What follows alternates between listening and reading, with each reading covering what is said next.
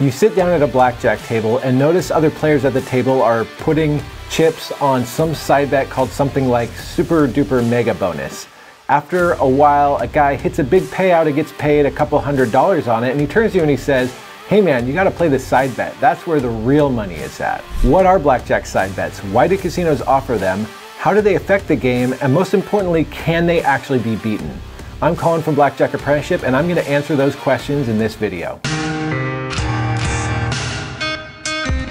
Hey guys, I'm Colin. I've been a professional card counter for over 15 years. I've personally beaten casinos for well over $600,000. I've run blackjack teams responsible for beating casinos for nearly $4 million, and through Blackjack Apprenticeship, I train others how to legally beat casinos through card counting and advantage play. And I want to explain exactly what side bets are and how they work. Side bets are typically an optional bet at a blackjack table that actually has nothing to do with how you play your main blackjack bet. Some of the most common side bets are 21 plus 3, Match the Dealer, and Buster Blackjack, and then there's a whole slew of them that usually have bonus or lucky or something like that in the title. And technically, even insurance is a side bet because you don't need to take insurance and it doesn't affect how you play your hand in blackjack. So, why do casinos offer side bets? Generally speaking, blackjack is a very low volatility game. You place a bet and you usually win or lose a bet. Maybe you double down, split, you win or lose a couple bets, but it doesn't get much more volatile than that.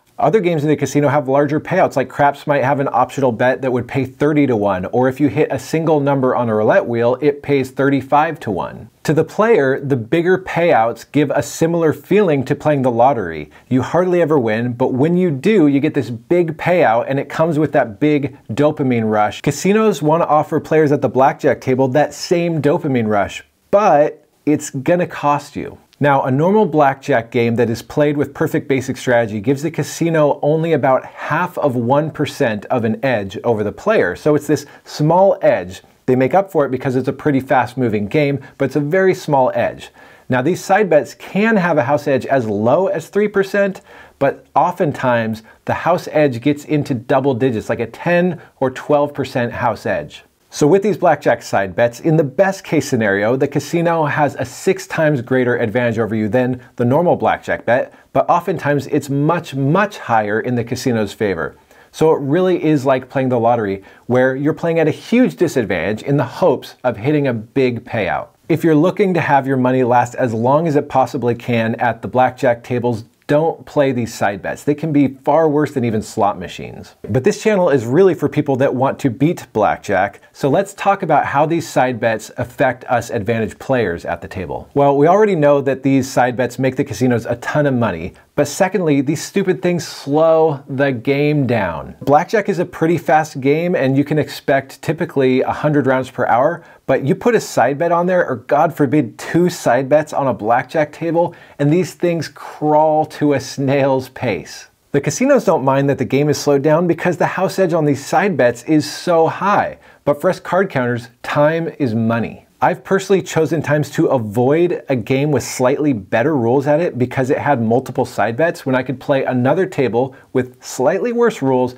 but I knew I could play two or three times as many rounds per hour. Now I know what some of you are thinking right now, which is, Colin, what if I play this side bet as cover? Then the casinos won't suspect me of card counting. Well, I have two responses to that. First off, you're probably giving the casinos a little too much credit. Now, I've tried all sorts of things to try to camouflage my play or throw the casino off to the fact that I'm a winning player, but the vast majority of the time when they back me off, it's because I'm either winning too much or because they see my bets moving and placing a bet on the side bet here or there is not going to change that. The second thing I'd say is you have to know the cost of the cover.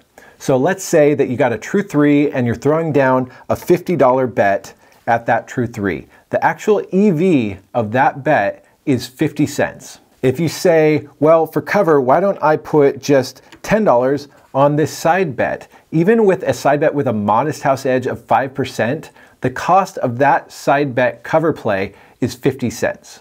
So in this situation, you just cost yourself every penny of EV that you're generating off the main bet. That's just one example. You could bet less on the cover bet, you could bet more on your main bet, but again, you need to calculate exactly how much this cover play is costing you and the vast majority of the time it's far too expensive. And if you really want to avoid heat, you could simply bet less on the main bet rather than giving up a bunch of that EV on a side bet at a much higher disadvantage. But again, if you're going to bet less on the main bet, you're generating less EV and making yourself less money. Just because a side bet seems to you like it might be a good opportunity, don't just follow your heart or your intuition. That is a great recipe to lose a lot of money. Let's talk about beating side bets. At this point, it should be clear that you should avoid them unless you know the math behind them and you've found a vulnerability specific to that side bet that you can take advantage of. How can we understand the math and find out if a side bet has a vulnerability? Well,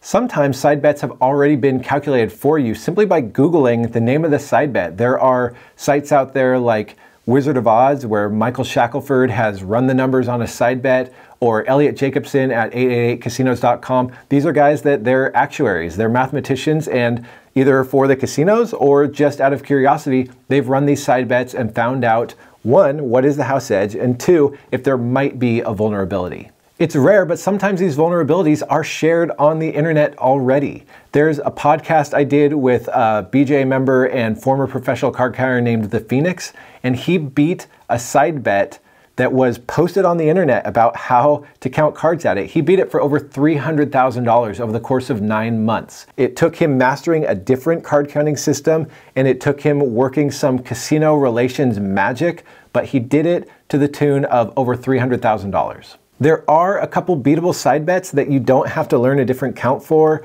They actually correlate with high-low, and that would be Lucky Ladies and King's Bounty. Those become advantageous at a true six and a half, or really probably wait for a true seven. It's not a lot of EV, but in that situation, it does become advantageous to the player to play that side bet. Other times, you need to be able to program the numbers yourself or find someone who can. I know that sounds like a lot of work, but these are those unique opportunities that if you find a vulnerability that no one else knows about, it can be highly advantageous. But again, we trust math. We follow what can be proven through simulations.